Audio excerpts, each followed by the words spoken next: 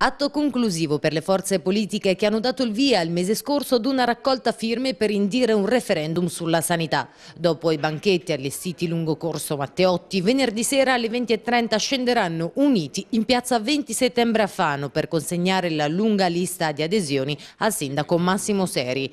Il comitato che ha sostenuto l'iniziativa denominata Io firmo per la salute è composta dal Movimento 5 Stelle, da Bene Comune, Possibile, La Tua Fano, da Riscossa Fanese, Paese, dal Movimento Radical Socialista e dal Partito Repubblicano. Venerdì sera abbiamo organizzato questa manifestazione che sarà il momento conclusivo di questo mese di raccolta firme.